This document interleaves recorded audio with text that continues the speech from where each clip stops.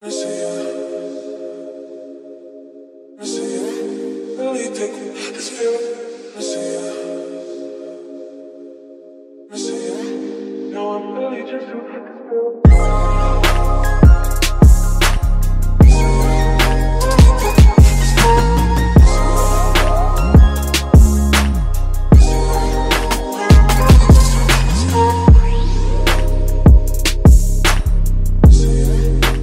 So this is the Lineage OS 16 mod on the Redmi Note 5 Pro. And today I'm gonna show you how is it running. And this is the Android Pie based Lineage OS mod. And this is not official by the way. And I just flashed it with micro G apps. And let me quickly show you the settings panel first. Let's go into system. And over here you get this advanced mode.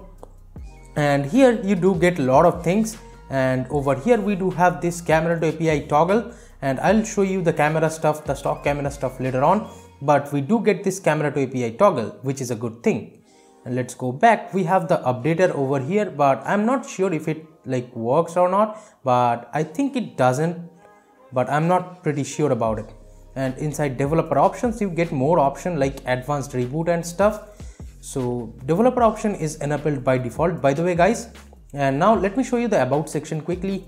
Here let's go into android version and here you will see this is the 5th january 2019 build of the uh, like the lineage os 16 based on android pie. And this is of course based on android 9 pie. And here is the easter egg of android pie. And this is the Lineage OS Easter egg of Android Pie. And as you can see with the Android Pie Easter egg it does have the Lineage OS logo in the middle. And it changes colors of course. So it does look pretty cool.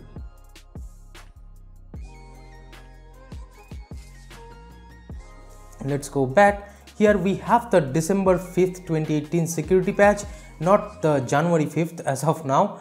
And over here this is the build date and stuff. The stock kernel and stuff you can see it from here. It's the perf plus kernel. So that's how it is. Let's go back. And in terms of the customizations we have this buttons option over here. From here you get this show arrow key while like typing over here.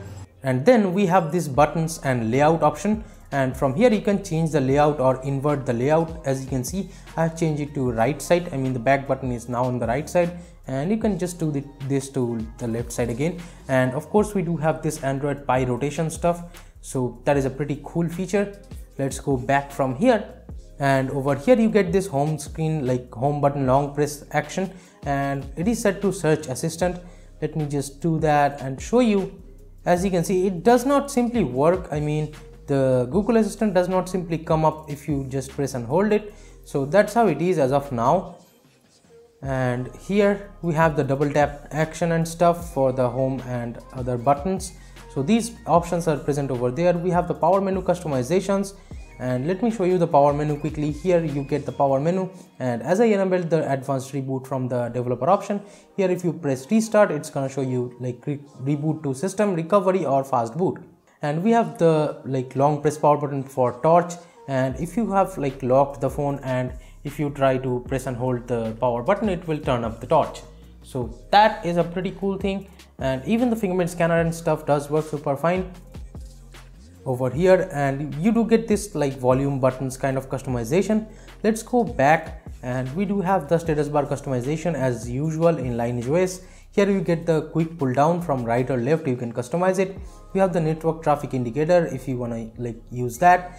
We have the system icons. From here you can enable headset hotspot bluetooth etc icons. And we do not have any VoLTE icon over here but VoLTE does work super fine. And in the clock settings we have the like you can choose the clock to be in the center if you want it like that. And you can like enable am pm and you can change the size and stuff and we have the brightness slider auto brightness and even brightness control from the status bar. So this is a pretty cool feature and i do use it on my daily basis. And this is like just amazing that this feature is present over here. Now let me show you the gesture settings and from here you will get the swipe up home gesture. And with this you, you can just swipe up to get the recents panel just like once. And if you swipe it all the way up it will get you to the like app drawer of course. And over here we do have this audio effects and stuff.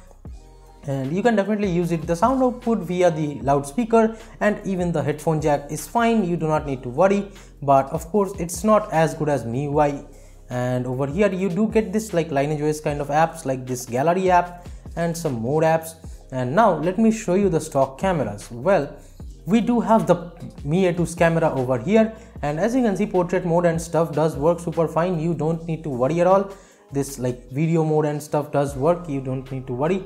Even portrait selfies are fine with the MIUI camera. And we do have the Pixel 3 camera too present by default over here. So we get two cameras by default. You don't need to worry at all regarding the camera in this ROM. And even in the Pixel 3 camera we get the portrait mode and stuff we have the motion enabled and stuff like that. So the Google camera or the Pixel 3 camera and the Mi A2's camera works just fine like by default. So that is a pretty cool thing in my opinion. So now let me show you the display settings and stuff. And if you go into the settings just go to display. And from here you will get a lot of options like auto brightness or adaptive brightness is there live display is there and from here you can change the color profile. You can set it to warm normal or cool mode if you like want it that way. And even you can change it to like day night or you can set it to off. Or you have this color temperature option you can like change this color temperature of the screen. And we even have this reading mode. If you turn it on the display is gonna go grayscale or black and white so that is a pretty cool feature. And you can even further customize the colors of the screen. Like you can definitely control the RGB of the screen like individually. So that is pretty cool. And we have the picture adjustment mode. From where you can just change the hue saturation intensity and contrast as well. So these options are pretty cool. And in style settings we do have the like the theme kind of stuff.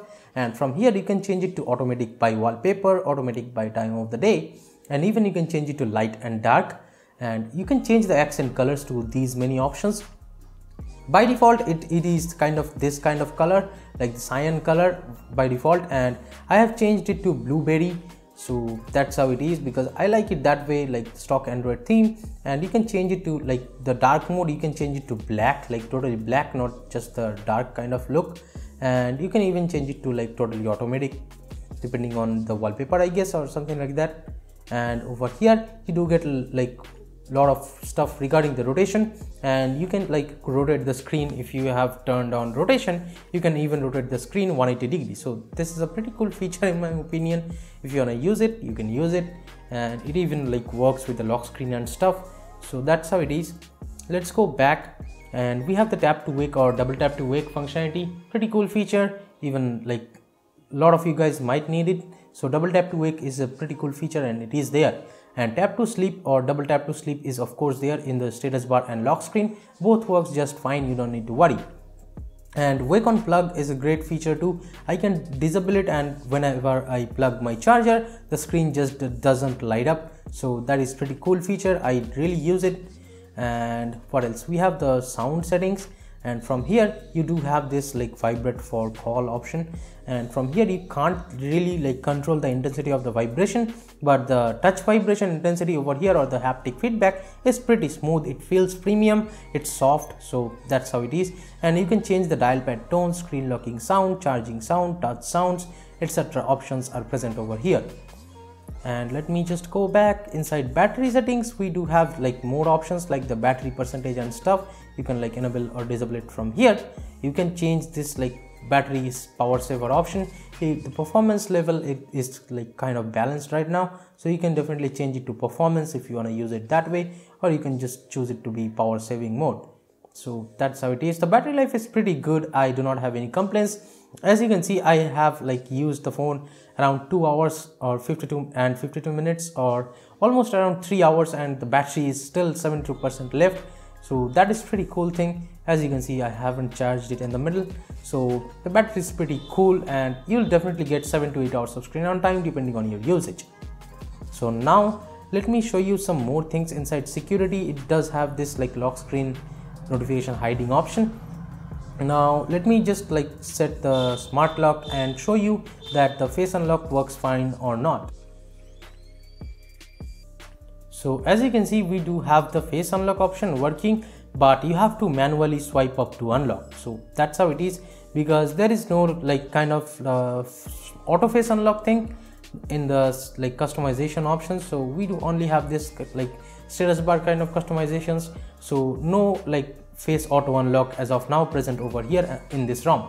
So i hope this feature comes around like in the future updates. But even right now the rom is super stable and it is like really really smooth. You don't need to worry. And the stock launcher by the way it has this like google now cards to the left. And you can just like swipe up of course. And it does not have the like swipe down anywhere on the home screen to get the notification panel and stuff. So those features are not there. And by the way let me show you the home screen settings. So this is how the launcher settings looks like. So pretty minimalistic. And i have to say like while setting up the rom i did face some issues that i have flashed micro g apps on this rom and it was like showing me some force closes in the setup wizard. So that's how it is as of now i guess. But i'll link it below if you want to flash this rom. I'll link the rom file below and the gapps of course. But i'll recommend you guys flashing this rom with pico gapps or something because micro gapps was having some kind of issues but it did work fine after like two to three times of trying. And by the way banking apps well google pay was not really setting up like automatically after flashing the rom so i had to just go into the settings of the google play services then from the permission of the Google Play services, I disabled the phone and SMS app permission. And let me quickly show you the fingerprint scanner speed.